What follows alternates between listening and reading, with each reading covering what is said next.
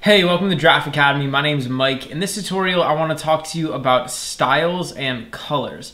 Now, one of the cool things you can do in HTML is you can actually style the individual elements. And when you style HTML elements, you can use something called a style attribute, and you can actually give each of these HTML elements certain styling information. Now, when we're talking about styling HTML, there's an entire other subject that you can get into, which is called CSS. And that stands for Cascading Style Sheet.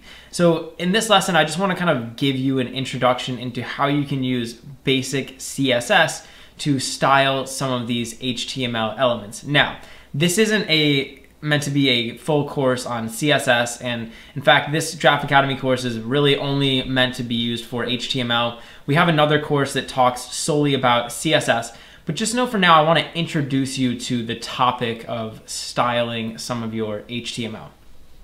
As you can see over here, I have this uh, header up here, and then I have this paragraph here in my file.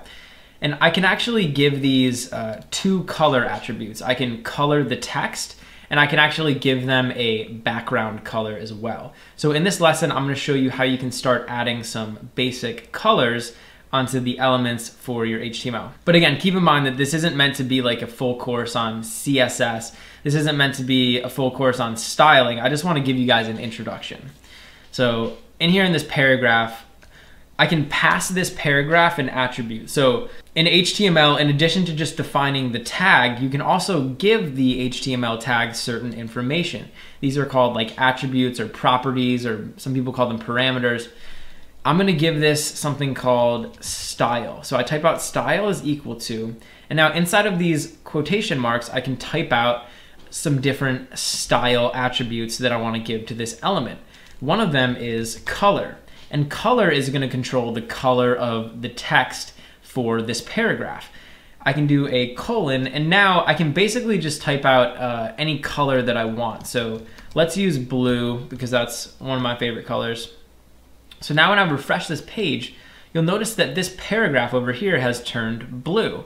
And so instead of just being that boring black color, now it's blue. We could also change it to red. And now it will be red. So you can use a bunch of these different colors and you can change the color of the text. I could also change something called background color. So in addition to changing the color to red, let's change the background color to maybe blue. So now I can type out background hyphen color and I can pass in another color. So let's make this blue. And so now this paragraph will have its text colored as red and it'll have its background colored as blue just like that. And so you can use these different color combinations to control the background of the text and the color of the text. And you can also use these attributes in other elements. So for example, I could use this same thing inside of this header right here. I could say style. And remember, this is just a, an attribute that we're passing in. I could say color, and now we'll make this green. So I can make this thing green. And I can also use these stylings on these container tags. So up here we have this body tag. I could give this a style as well. So I can say style, and why don't we give this a background color? So I'm gonna give this a background color of light blue. So I'll say background color, light blue. And now what you'll see is the entire body, so the entire body of our HTML, so all of this stuff is going to turn blue. And that's exactly what happens. So you can use this background color inside of this body tag to control the background of the website.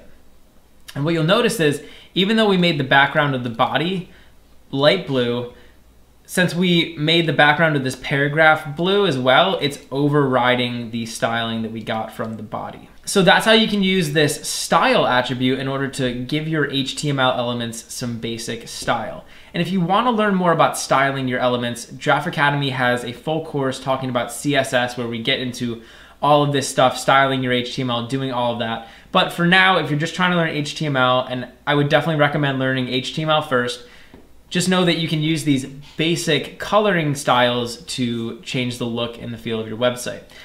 Now, I want to show you a website where you can go to to find all of the colors that you can use. So this is a website called W3 Schools, and you can just kind of Google search like W3 Schools color list, and it'll give you a list of all these CSS colors. So again, don't worry too much about CSS. Just know that you can use these inside of those style tags. So this is just a full list of like the name of the color.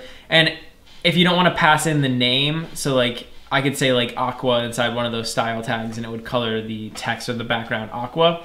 You can also just put these uh, hex tags in there. So you could copy this guy and put it in place of the color name and it's still gonna work.